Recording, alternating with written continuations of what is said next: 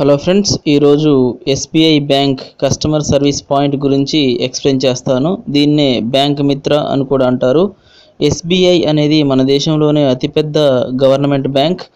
ఇది అందరికీ తెలిసిందే. ఈ ఎస్బీఐ బ్యాంకులో చాలామంది కస్టమర్స్ ఉంటారు. ఎప్పుడు చూసినా కానీ క్రౌడ్ అనేది ఉంటుంది.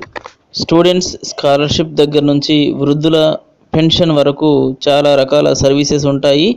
ఈ సర్వీసెస్ను ప్రజలకు ఇంకా త్వరగా ఈజీగా అందుబాటులో తీసుకురావడానికి టైంను సేవ్ చేయడానికి వర్క్ను ఫాస్ట్గా అవడానికి ఈ ఎస్బీఐ సర్వీస్ పాయింట్ను స్టార్ట్ చేశారు.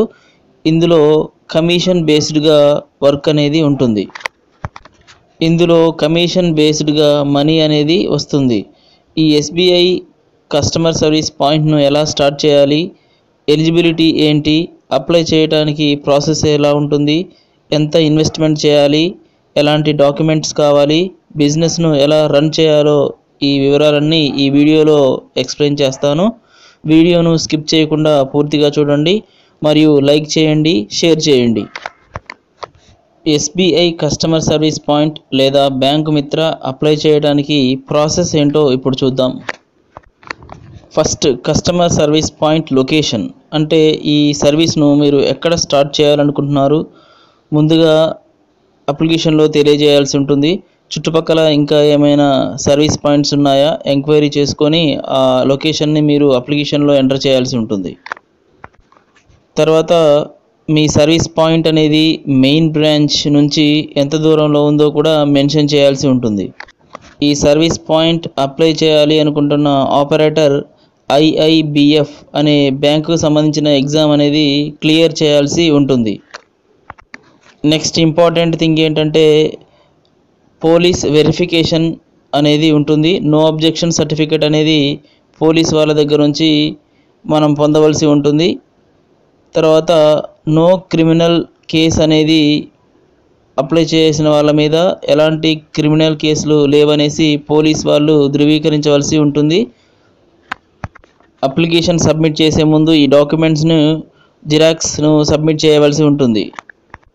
ఇక క్వాలిఫికేషన్ వచ్చేసి ఇంటర్మీడియట్ లేదా ప్లస్ టూ పూర్తయి ఉండాలి.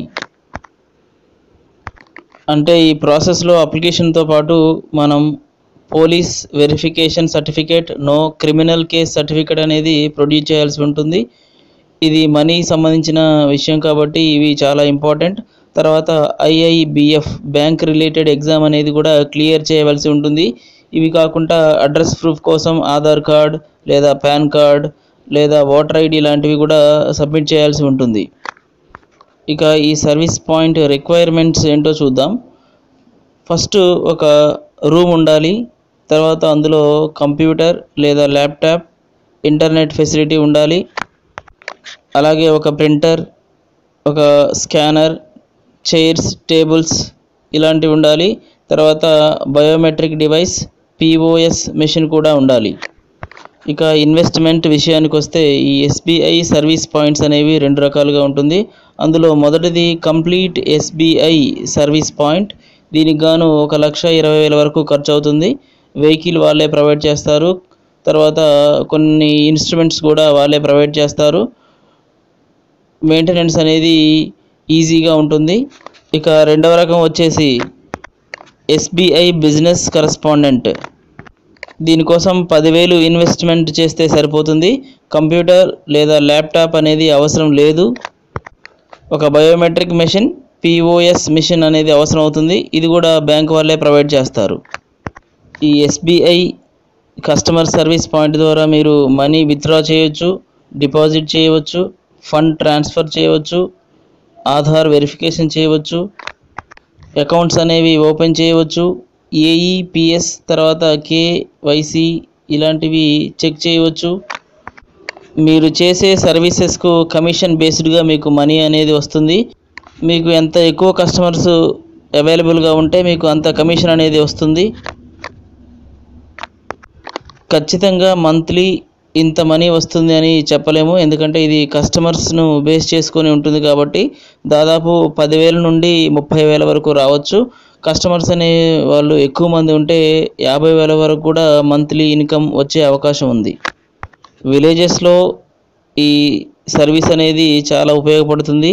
ఎక్కువ మనీ ఎర్న్ చేసుకోవచ్చు. సిటీలో అయితే చాలా బ్రాంచెస్ ఉంటాయి కాబట్టి ఎక్కువ మంది కస్టమర్స్ రారు. అదే గ్రామాల్లో అయితే బ్యాంక్ సర్వీసెస్ చాలా తక్కువగా ఉంటాయి కాబట్టి ఈ ఎస్బీఐ కస్టమర్ సర్వీస్ పాయింట్ అనేది ఈజీగా రన్ అవుతుంది. గ్రామాల్లో అయితే బ్యాంక్ వారితో మాట్లాడి బ్యాంకులోనే ఒక పక్కకు కుర్చీ వేసుకొని కూర్చొని మీ వర్క్ చేసుకోవచ్చు. చిన్న చిన్న డిపాజిట్స్ కానీ ఫైవ్ థౌజండ్ బిలో డిపాజిట్స్ కానీ విత్డ్రాస్ కానీ బ్యాంక్ వాళ్ళు మీ దగ్గరికి పంపించే అవకాశం ఉంటుంది. అలాగే కొత్త అకౌంట్స్ ఓపెన్ చేయడం కానీ ఈ జన్ధన్ సర్వీస్ లాంటివి కానీ ఈజీగా ఉండే ఇన్సూరెన్స్ పాలసీస్ గురించి కూడా మీ దగ్గరికి బ్యాంక్ వారు పంపించే అవకాశం ఉంది. ఈ సర్వీసెస్ ద్వారా కమిషన్ మీరు పొందవచ్చు. ఇందులో ముఖ్యమైన విషయం ఏంటంటే కమిషనే కాకుండా ఎస్బీఐ బ్యాంక్ వాళ్ళు రెండు వేల నుండి ఐదు వేల వరకు శాలరీ రూపంలో కూడా ఇస్తారు. ఈ ఎస్బీఐ సర్వీస్ పాయింట్ను స్టార్ట్ చేయాలి అనుకున్న వాళ్ళు ఆన్లైన్లో ప్రయత్నం చేయొద్దు. ఎందుకంటే ఆన్లైన్లో ఫేక్ వెబ్సైట్స్ చాలా ఉన్నాయి. కాబట్టి మీరు మీ దగ్గరలో ఉన్న ఎస్బీఐ బ్రాంచ్లోకి వెళ్ళి మేనేజర్తో మాట్లాడి డైరెక్ట్గా ఆ వివరాలన్నీ పూర్తిగా తెలుసుకోండి. అక్కడే అప్లై చేయండి. ఇలాంటి మరిన్ని సక్సెస్ఫుల్ బిజినెస్ ఐడియాస్ కోసం business info in Telugu YouTube ఛానల్ని చూడండి.